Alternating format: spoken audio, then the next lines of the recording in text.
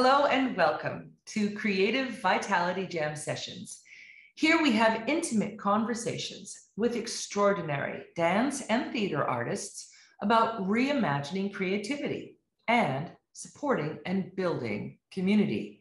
CVJS and I walk in solidarity and as allies for equality, justice, and respect. Black Lives Matter. Let's keep dancing to bring change. I'm Helen Pickett, and today's guest is Erica Lall. She is a dancer with American Ballet Theater. We have known each other since 2020. Welcome. Hi. Hello. Hi, Helen. How are you? I'm great, Erica. Oh, you look beautiful. Thank you. It's so good to see you. You too. After our intense five week uh, wilderness living, creating, eating, everything art together. Um, it's, you know, you create quite a strong bond. I know. yeah, yeah. Um, so I should actually say where that was. We were in Kaatsbaan together with, uh, it was the ABT pod and Eric and I worked together in a quintet and it was really an extraordinary time that we had, that we shared. Um, first question I ask um, is what part of the world are you in? I am currently in New York. New York, great. And yeah? Home, just home. home, exactly. It must be nice, right? I mean, I love the city. Yeah. It's I don't know, it just feels right to be here always. Yeah. I was home for so long and during COVID in Houston. And it yeah. just I don't know, there's just a warmth to the city that I miss. I totally agree. It's, it's so funny. People that have never lived in New York City cannot really understand when people that have lived there for a certain amount of time uh, explain that it feels like a huge, not a village, but I tell you, it's like a warm hug. People, people that live in New York know New York is strong right. and ever changing, and it's it's you feel the support, you feel the camaraderie. Right. It's it's an extraordinary place. I'm so happy you're there. I know me too. so, Erica, I would like to start actually with 2020 leading into this year's projects. Mm-hmm. So, you were quite busy. Um, how did 2020, so the pandemic year, that period of time, lay the foundation for this year's activity? Um, were there unexpected shifts in how uh, you approached your art? Um, perhaps things that you might have learned, taken with you, surprises. Um, how might have you reimagined yourself as an artist? Right. And um, there's a lot of questions, but were there unexpected projects? And lastly, what's next? That's a lot. so I I mean, 2020 was crazy for all of us in so many different ways. Um, you know, we were in our touring season. We were actually about to go to Chicago, and then all of a sudden found out the Chicago tour was canceled. So, I mean, I jumped on a plane because I was worried that I was going to be stuck in New York for I don't even know how long. Um, but, you know, we thought we are going to come back and tour again. And then it ended up me being in Houston with my family from March until August. Oh. Yeah. So that was a long time. You know, I moved away from home at 15 by myself. So it was definitely an adjustment moving back into my parents' home. But, you know, it's, I'm really grateful that I had this time because, you know, as a professional dancer, we don't have, however, what is that, six months with our families ever. And, you know, a lot of us move away from home young. And I got to spend time with my family, with my nephew, who was at the time a little over one. And I wouldn't have been able to bond with him like I was able to. And so, you know, I feel like he knows me now, which is, I was always worried about because I wasn't ever home for long amounts of time. So that's something I'm very grateful for, especially that bond with my nephew, because, you know, I can FaceTime him now and he's like, hi, Ari. It's just really cute. Um, but you know being home was difficult um, especially when you know you just want to be in the studio with your colleagues that that again that warmth you feel in a studio with everyone that you work with with your friends that kind of vibe kind of helps me to elevate myself, when I have others to look up to, when I have others who are giving me advice, you know. And so it was difficult being home and staying in shape for something we didn't even know was going to happen. Like none of us knew if ballet would be a thing, honestly, because we're all out of shape. We're all at home in our little Marley rectangle trying to stay in shape, which is so difficult because you go from rehearsing from 12 to 7 to a ballet class and maybe pointe or variations. So that was difficult. Um, but, you know, I think it also gave me a chance to kind of sit down, relax, and become more in touch with myself, which as a dancer, I think it's really easy to just get in the habit of not thinking too hard about things because you don't want to be affected emotionally by it in the studio, of course. From a young age, you're kind of taught to just not say too much, don't react too much, and do the work. You know, you that's how you improve, honestly. Um, but I think it's important for us to be in touch with our emotions. And I think that's helped me grow in such beautiful ways because I actually know who I am, which was, it's really difficult when you're in a studio all the time and you don't speak. Our art form isn't speaking. And, you know, you're given the steps you're supposed to do, you're given the character you're supposed to play, and that's that. And very rarely are we just talking back and kind of having a conversation because, first of all, we don't have time.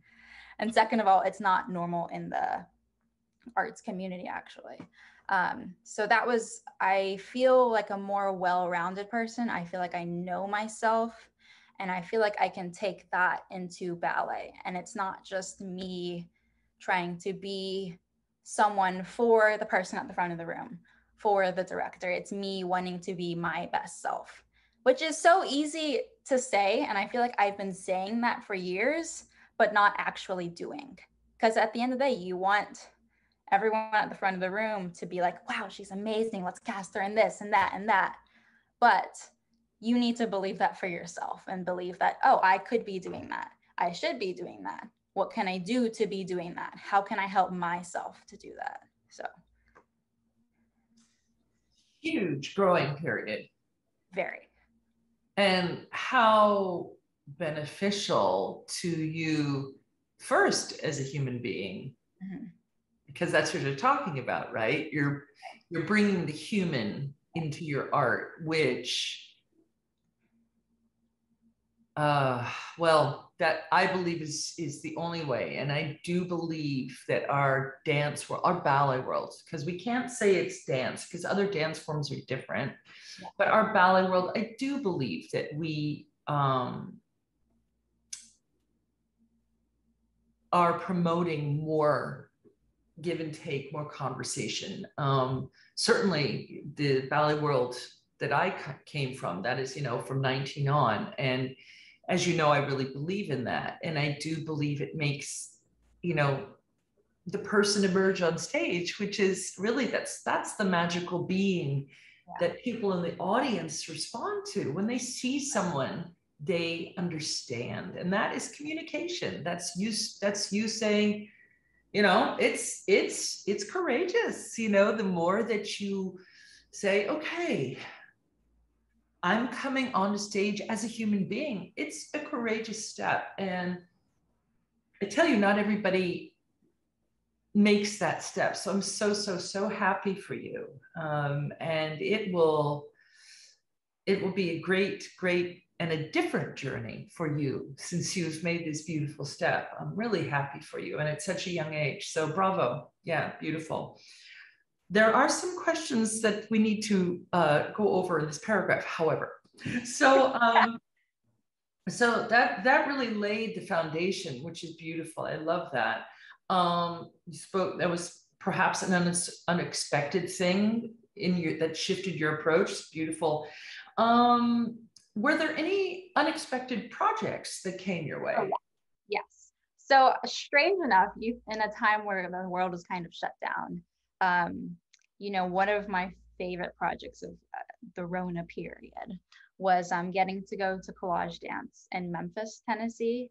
and they invited me to be their Firebird in the production of their Firebird. Um, and it was just like I forever thank Kevin um, from Collage Dance for inviting me because I just hadn't been given the opportunity to have a role like that. And I think it really opened my eyes to what I can do because I saw myself in a different light. I saw myself as the principal dancer in the piece and just, you know, getting to really be coached.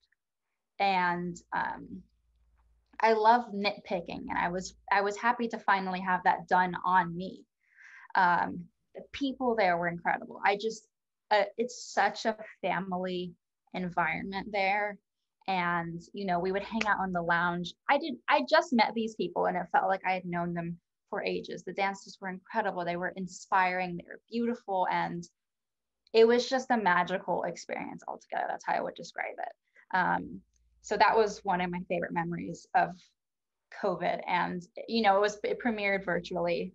Um, and it was really fun to watch. And they added these really cool special effects. So I, I would do like a hand and it would just spurt off and there was fire on the firebird feather. So just just really incredible experience. Um, and then probably one of my other favorite ones during this period was um, a little short film with herschel um, herschel the like bag company. And you know I, I remember my sister gave me a herschel bag. I think it was four or five years ago. I loved that bag. It was just it was their simple black and leather backpack. And I wore it until it broke for like four years. Um, so then to be reconnected with Herschel and to create a, a, short film with them, showing them a little behind the scenes of my dance life was beautiful. And we had one day of filming, and it was just everyone in that community was so nice and generous. Um, so that was really fun. And then I did host um, a center stage reunion with ABT, and that was also because I love that movie. I have watched it so many times. I remember watching it with my sister so many times, my best friend so many times. So to then host the reunion, I think it was 20 years later, was just very fun. So, and I, I mean, I love kind of hosting. I love speaking, so that was really fun to get to do. I think your center stage was my turning point. I had that's how I was with the movie Turning yeah. Point. oh man. oh, okay, wonderful. So, um, and and the last one is what's next? Is there any project coming up? So, oh, I I need to talk about Desire though. Okay.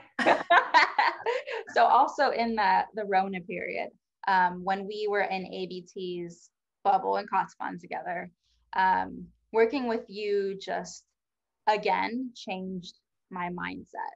And I feel like you had a belief in me that I didn't have before. And you wanted to draw things out of me. You wanted me to be seen. You wanted me to dig into myself and kind of put that out on stage. And so being able to work with you for three weeks again made me a stronger person, a stronger dancer. And I'm very grateful that I was able to perform in that ballet because I, first of all, I love it. The movement, the story. I'm, a, I, I think I'm a storyteller, and being able to tell that story, you know, we we put that together so quickly, but I art instantly felt connected to the story, mm-hmm. and so I think, I don't know, it's just a blessing that we connected during this period again. Yeah, I feel the same, Erica. I feel the same. And I, I felt that connection immediately that you were someone who really was ready mm-hmm. to say, right, you know, um, and um, really, you know, said yes, said yes, yes, yes, kept saying yes. Um, so again, you know, there's a reciprocal thing there. Uh, so people have to say yes together, right? For for they don't have to, but it's really nice if that yes is together because a lot a lot of different kind of work can happen. So um, it's very special to me. And you are a storyteller. You're right. You are.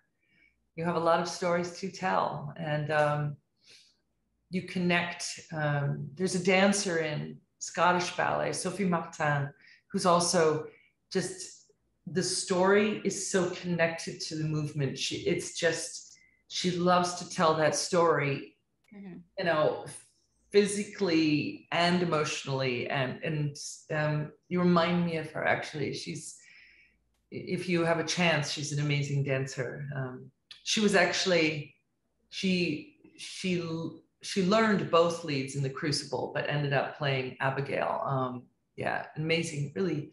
So, okay, tangential. Let me get to the next question. okay, so this is a, a, bit of a long lead in, but Erica, you joined ABT Studio Company in September 2014, then joined American Ballet Theatre as an apprentice in December 2015, and became a member of the Corps de Ballet in May 2016.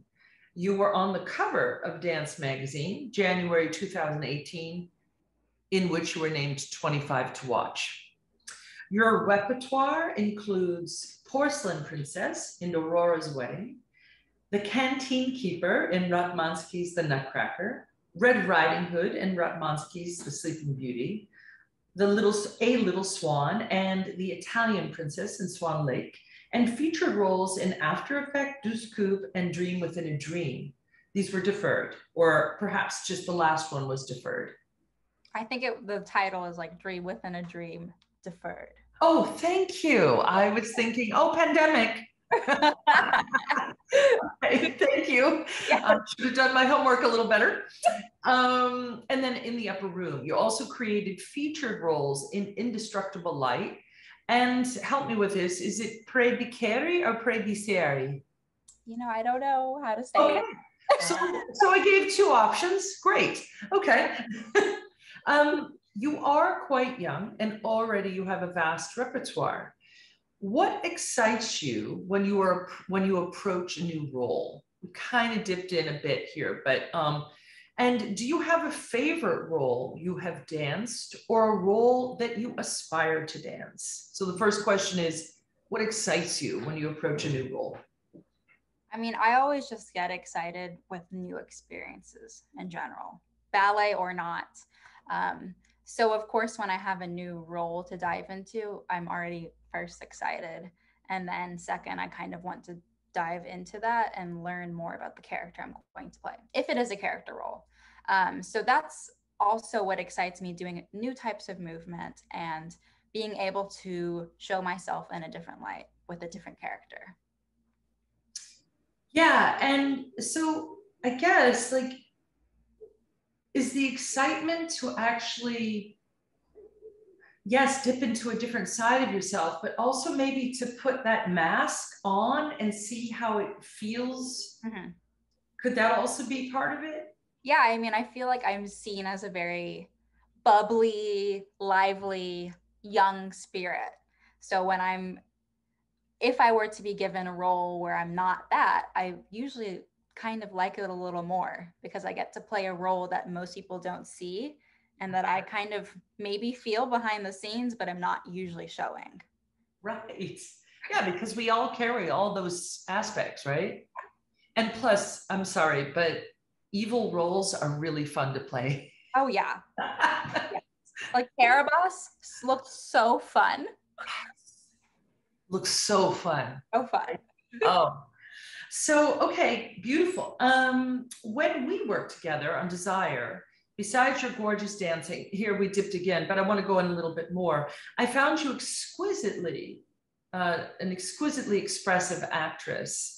Um, is acting an avenue you'd like to journey down? Um, I also found you very open to new approaches. Yeah. And how would you describe this trust in process within yourself? Um, yeah. Okay. Wait, what was the first part? Yeah, right. Um, okay, so is acting an avenue you'd like to journey down? Yes, I would absolutely love to journey to the acting side. You know, I in middle school, there was this program called AMS, and it was art, music, and speech. So I guess it was I think music and speech were half semesters and art. I don't really know how art fit in there. But so speech included theater arts and all of that. So with speech, we learned how to speak and present. You know, we would go to the front of the room. Either we had written a speech or we were reciting um, poetry or prose, something of that. And I think that opened me to the idea of and of acting. I loved speaking. Um, and we would actually have these speech tournaments. And I remember learning this little kid's book. It was called Pinkalicious. And you memorize the entire book and you would have to then act it out. And I think that gave me a good intro to acting because, you know, I had, I was so young, but I had memorized the book and then I had to present it in front of judges and, you know, people would win first, second, or third. Um, and, you know, we had a lip sync section which again opens you up to different kinds of movement. And you know i mean i was coaching my friends because i was already the dancer but i was choreographing the whole dance. Um, so that was my first sort of intro to theater arts. And i remember we again in middle school we had i don't really know what class this was maybe like english i don't know. But um, we had to reenact a part of a movie. And so we reenacted some of charlie and the chocolate factory and like I I was Veruca Salt. I had borrowed my friend's like fur coat. And I think that was my real intro to playing one specific character. Um, and I loved it. And I feel like I excelled at it at such a young age. Um, and so now I feel I would love to act, whether it be now or later. I am just very interested in that world. Um, I love to play characters daily, like just on a normal day, I love to kind of act differently. You know, it's fun. It's fun to play characters, especially with people you know. Um, so I think it'll be a journey that I would like to start in or continue in, shall I say. Yeah. And so that's finding acting classes, maybe acting coaches, which is hard with our schedule, but you know, I would I really am going to make it work because that is a dream for me remind me um, afterward i have uh, a really good acting coach who i studied with and she's she's doing zoom classes now but i studied with her for two years when i first moved to new york yeah. i was acting her name's penny templeton and okay. she's quite a good coach and she has she has some very specific and easy techniques that allows you when you practice it to get right into a character so I'll give you that information when we're done. But yeah. So yeah. um, I actually had a, a, conversation with her a few weeks back. Yeah. I thought, oh, I want to interview this woman because she's really, really extraordinary. She has a good book as well. I'll tell you those things. Yeah. Um, let's see. I think I missed the second half of that question. Yeah. It, well, again, we've talked a bit about this. So, um, how would you describe the trust that you have in in like processing and going into process mm-hmm. for roles? Right. I mean i think because i've been in the company for now i guess five years now i trust myself a little more. Of course when you join a company it's just kind of like oh i'm going to tiptoe around because i don't really know what's going on. I'm very new to this environment but now I feel comfortable in my environment. Um, and, you know, I feel like you have to trust yourself in these processes or you won't improve, you won't excel, you won't reach that next step unless you trust that you may fail. And with, through, with, I mean, I, I hate the word failure. You may tr- trust that you may fall, but then you'll get back up. So, I mean, that's fine. That's normal life.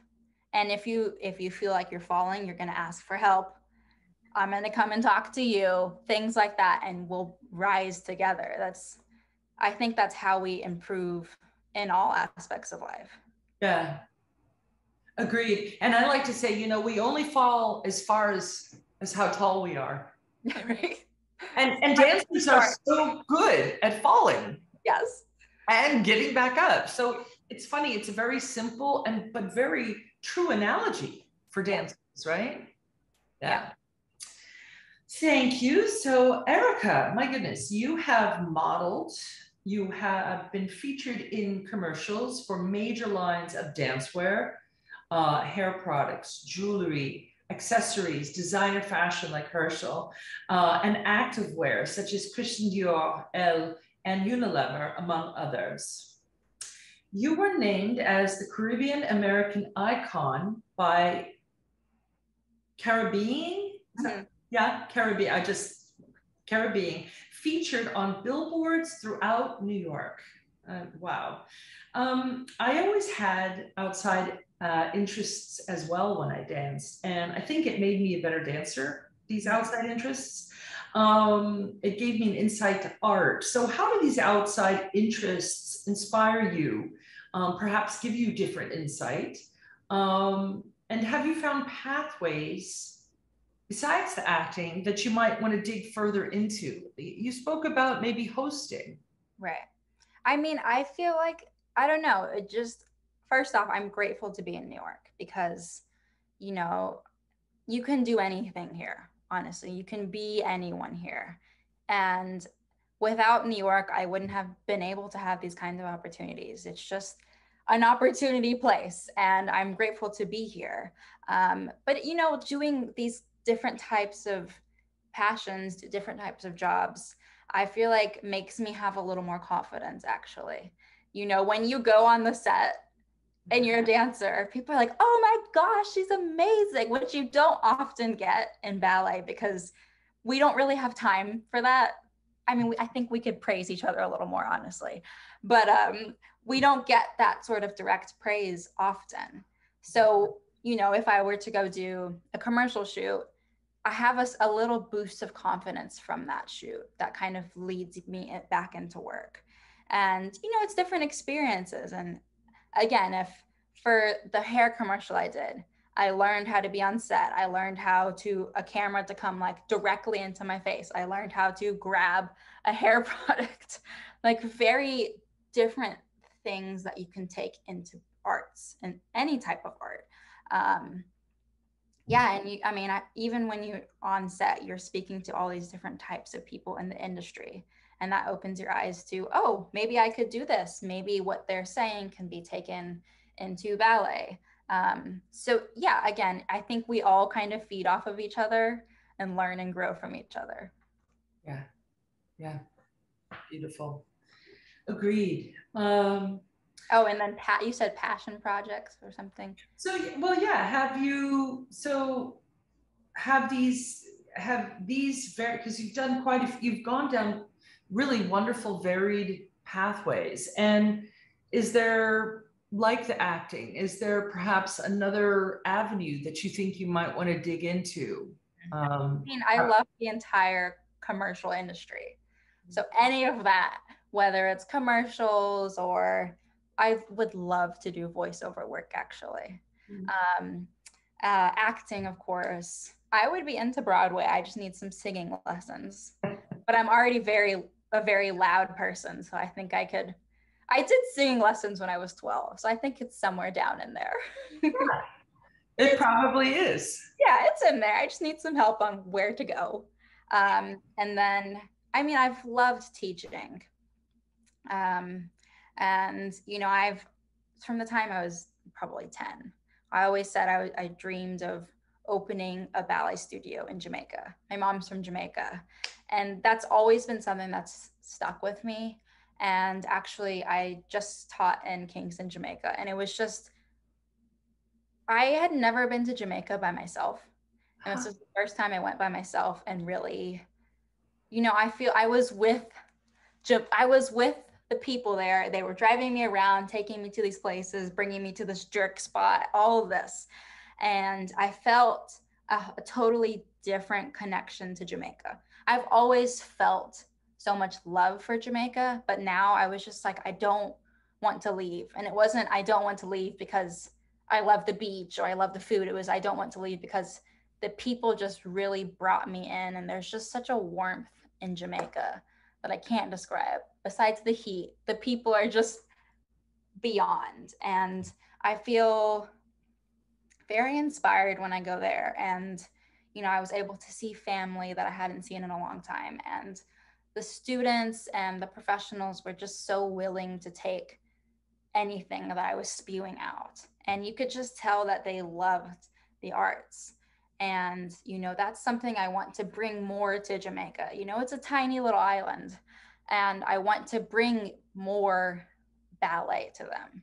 Um, so that's always been a dream of mine to open a studio there. So we'll see. We'll see. Many options, many ideas, but I definitely am going to end up living in Jamaica one point in my life. Well, I was just going to say, you know, you have a lot of life ahead of you. So that's definitely probably something for the future after a career in ballet, certainly. And Hmm. maybe alongside or adjacent another career that you're that you're embarking on but actually you know you mentioned your teacher uh, uh, your teaching and you are an american ballet theater certified national training curriculum instructor you you've also done that in your in your youth um, and you've and i suppose you were teaching uh, master classes right down in jamaica and it was it was completely free to everyone there which I think I think needs to happen more often because then we have more people coming to these classes. Otherwise, it's just like, why have master classes when people can't come? well, it's inclusionary. You're exactly right. We're including, and therefore, uh, it's ex- more exposure. You get a little kid that says, "Oh my God, I love this." Right. How can I find a way to do it? And if without the exposure, that little, you know, I, I often say, how many, you know, Marie Curie, Einstein, these, how many have we missed by not giving opportunity? Right. So it's, it's amazing. Um, so you also mentor young dancers as well. Um, and especially minority students and those from different disadvantaged communities. Um, and I know teaching calls you. Um, can you explain a bit of your mentorship? Yeah, I mean, I think it's really important for younger students coming up to see themselves, whether it's on stage or in the studio or being choreographed on. You know what I mean? So I think it's important that I am there for them, not just kind of someone that's far away and they're like, oh, I want to do that, but can I? I think it's important for me to go and have a conversation with these students because I mean, I didn't grow up with very much of that at all. And I remember when I was 13, no, 14, I can't, young. And um, I was doing the ABT Summer Intensive in Orange County, California. And my aunt was there and she said, Hey, Erica, like, would you want to go meet Misty? She's having this talk in town. And I was I was like, "Oh, I don't know. Like I don't know if I can leave my summer program. I we're also supposed to go to I don't even know somewhere during the day. I don't know if they'll allow me to leave." And they ended up releasing me and that was the first time I met Misty.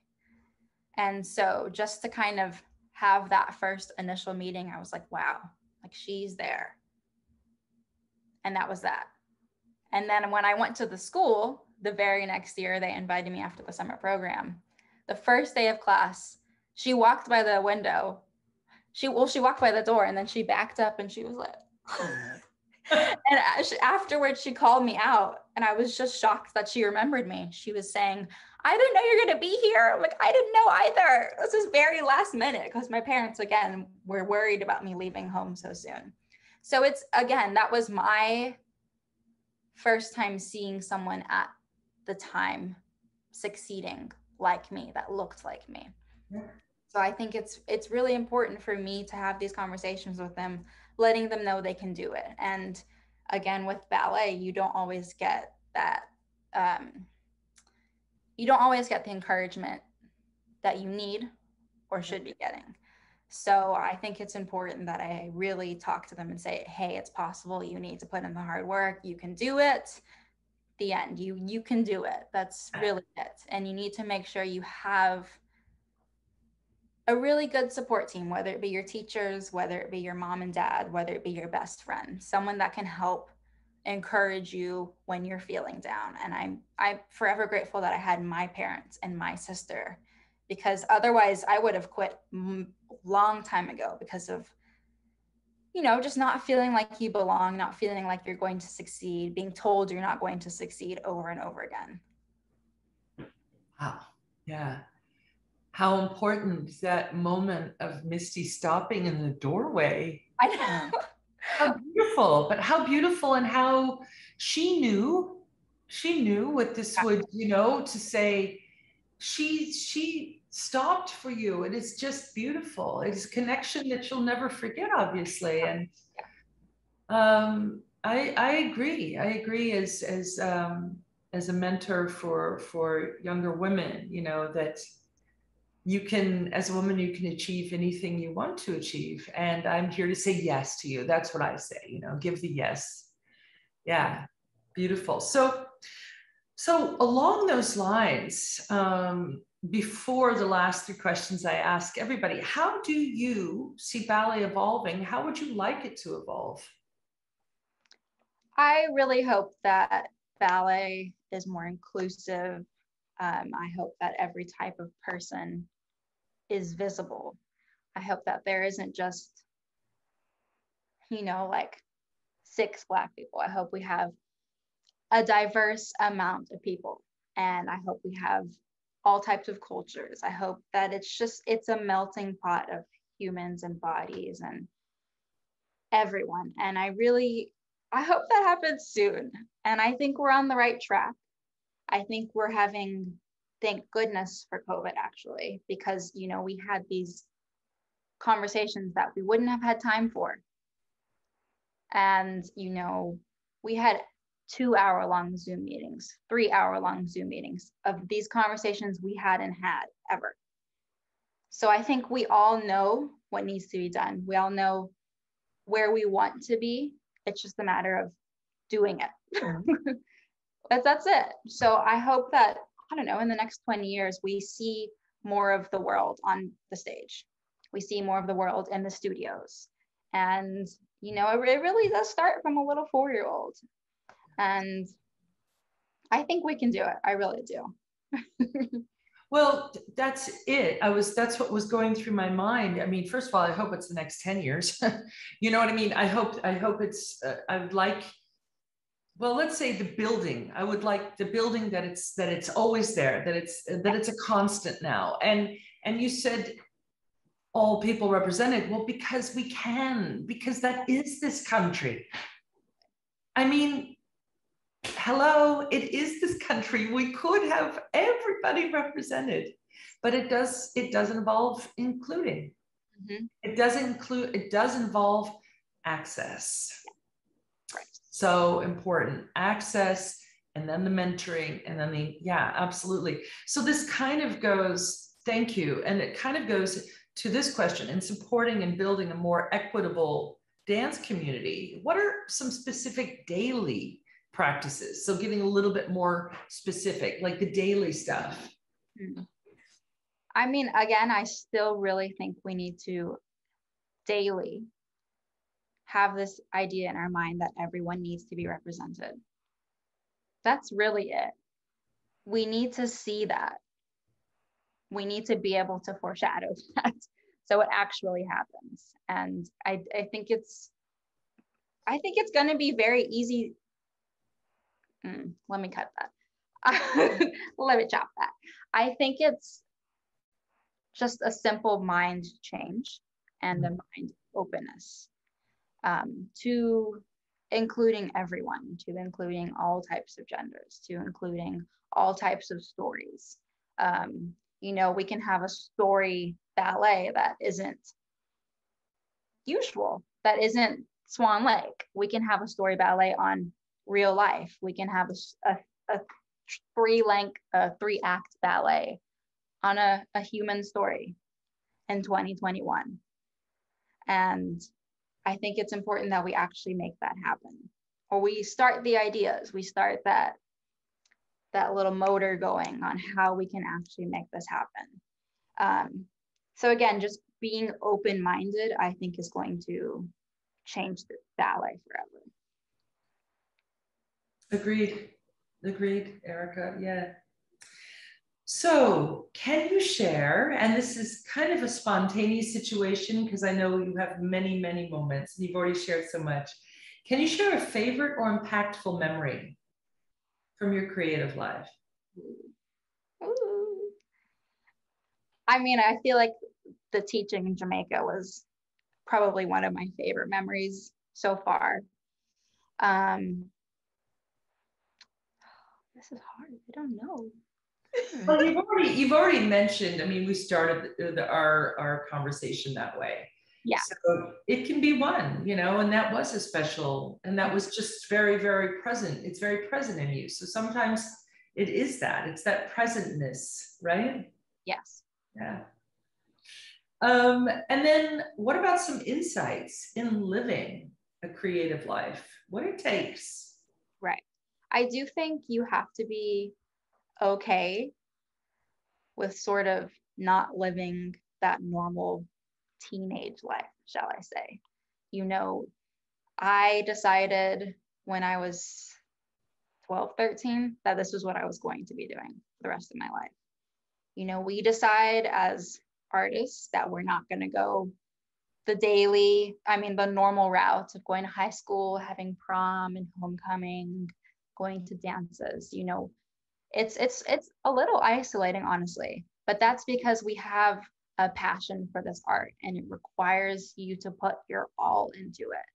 And you have to be responsible being a creative person you know we are so busy but it requires a different kind of responsibility of you know i have my arts I have what I'm doing in the art world, and I also have the business world. And meshing that together can sometimes be very overwhelming. but once you finally have that down, you have that process. But it is, it's a very difficult career, but you have to give it your 100% or you won't succeed. That's what, that's all I would have to say. Yeah. Totally agree. totally agree.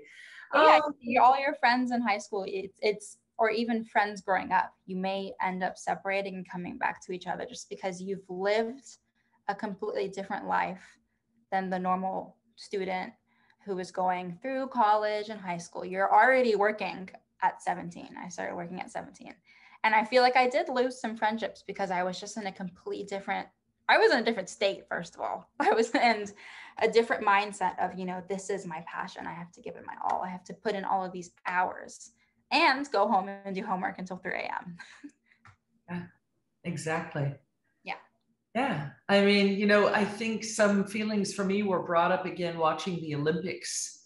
Mm-hmm. Just remembering, you know, the like you said, the the rigorous life that we lived so young. Yes so young. Mm.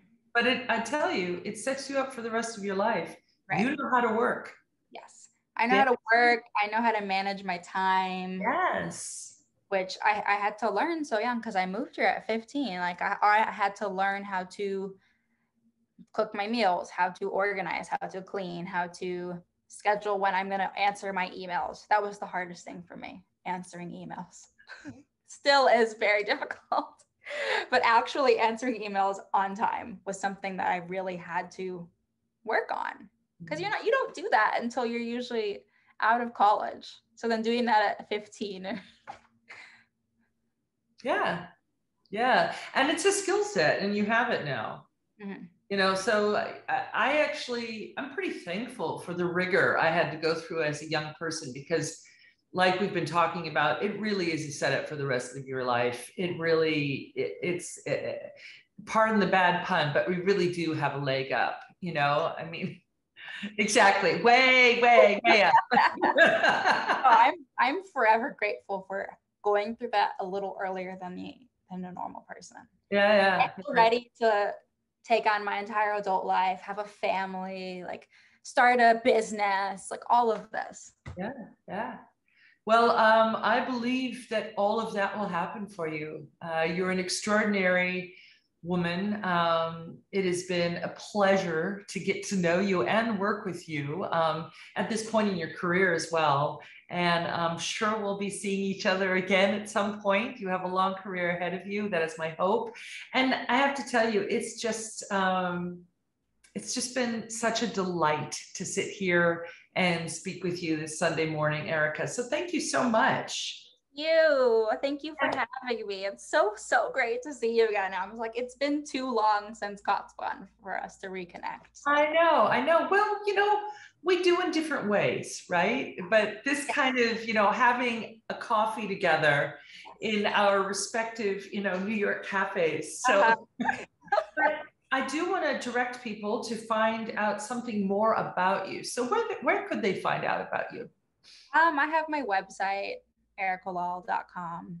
Okay. Instagram, of course, Erica underscore Lall on every single social media. Great. Um, that's pretty much it. Yeah. Great, great. And so also um, below this conversation, when you watch it, you will see a short bio of Erica. So there is that in the description page. Um, and I'm going to announce our next conversation. It will be with Jeff Beal. He's an award winning uh, composer for film, opera, and dance. And now it's time for thanks. Gracie Spina, thank you so much, Superwoman. Um, you make this happen every for 82 sessions now. So thank you. Thank you, Dance World, for always uplifting, uh, being there when everything else wasn't always there. Safety net. I love you, Dance World. Erica, I can't wait to see you again. I can't wait to hear about what you're doing. Um, can't wait to watch you in your journey. Thank you so much. Thank you, Helen. Mwah. Bye. Bye.